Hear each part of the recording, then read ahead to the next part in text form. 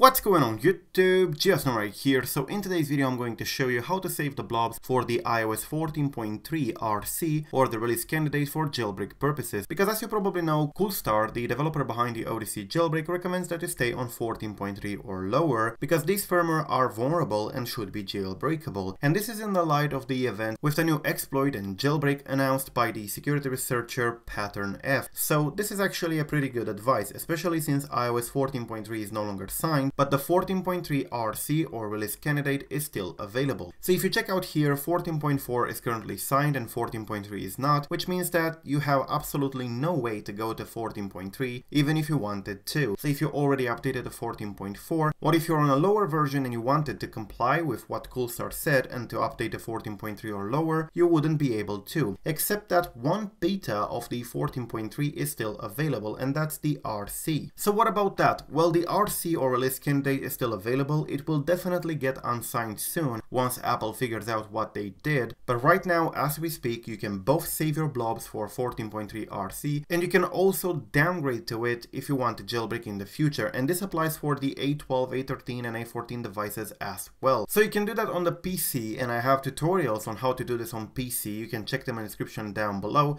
but you can also do it if you're jailbroken already on an older version. So how you do it for example if you're jailbroken like me with Checkra1n, or if you're jailbroken on 13.5, 13.4 and so on, but you want to be able to jump to 14.3 once Odyssey jailbreak gets updated. Well, you can get from Cydia the TSS Saver. It's available from 1Conan's repo at repo.1conan.com. You go here to packages and the only one that interests you is basically TSS Saver. It's this one here. And once you get it, it's going to install TSS Saver. You press on it and it looks like this. Now, of course, with this one, it's pretty easy to actually save your blobs. All you have to do is to press save and make sure that everything here is identified correctly. It's going to take a few seconds and there you go, you press open link and aside from saving the 14.4 blobs, this should also save 14.3. So as you can see 14.3 OTA here and this is basically what we needed is the RC or the release candidate which still is signed and that's the blob. You can download it, you can use it anywhere you want. You can even save them to the uh, Google Drive if you want to or you can download all of them which I highly recommend.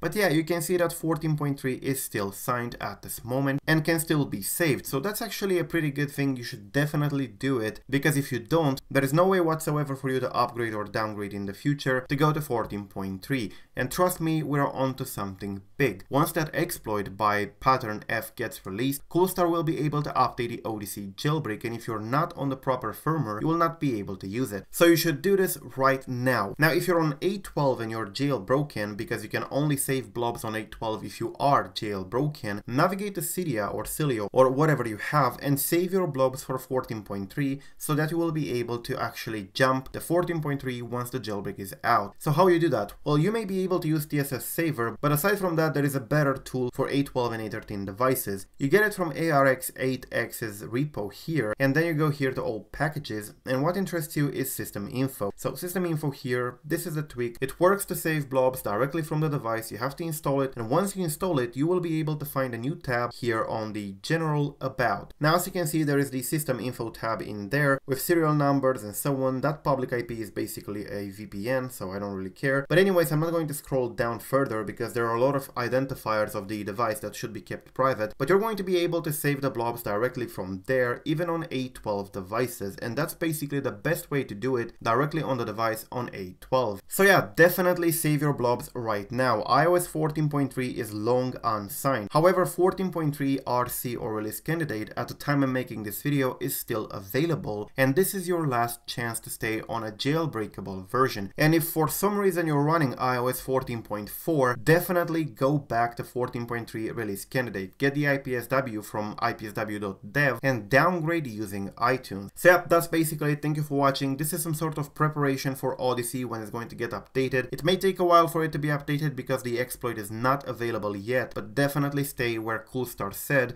because it's your last chance. Otherwise, in the future, you will not be able to do so. Thank you for watching, I am GeoSn0w. Till the next time, subscribe to stay updated, and peace out.